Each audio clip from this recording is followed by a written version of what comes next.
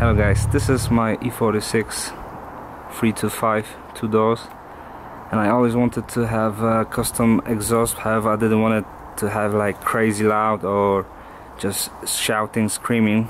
I just wanted to have a good note a lot maybe not a lot but more bass rather than high pitch uh, sound.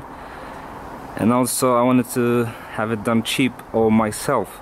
So I'm gonna show you today what I did this is a 2.5 liter version, version so it doesn't have a flap in one of the pipes. So what I basically did I drilled two holes on the on the angle of the pipe. They both going that direction into the box. So I picked two longer drill bits and I drilled two holes. So the exhaust sounds uh, slightly louder. And it has like noticeable uh, bass note.